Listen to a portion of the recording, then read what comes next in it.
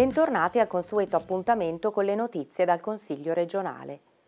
Tra i progetti c'è quello di aprire Palazzo Pirelli alle persone diversamente abili. Il primo appuntamento è stato con i rappresentanti della sezione bergamasca dell'Ente Nazionale Sordi. Dopo aver partecipato a una lezione sul ruolo e le competenze del Consiglio, la delegazione ha visitato il palazzo e la mostra L'età del grattacielo, che celebra i 60 anni del Pirellone.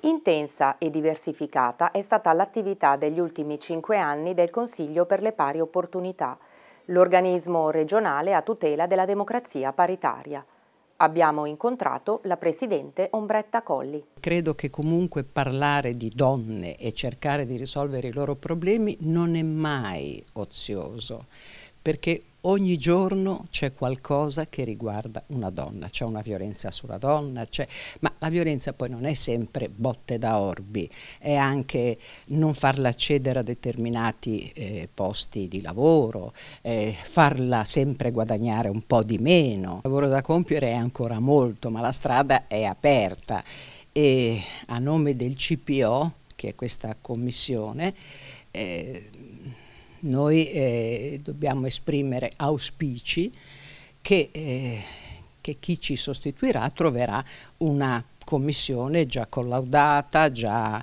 eh, pronta a fare eh, cose nuove.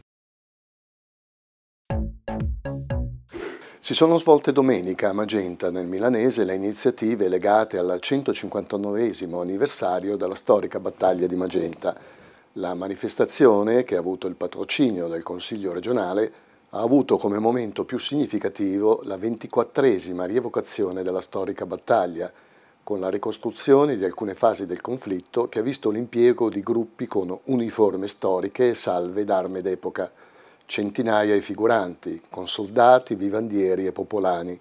L'intera giornata è stata scandita da sfilate, fanfare, tra cui quella dei bersaglieri, e cerimonie commemorative.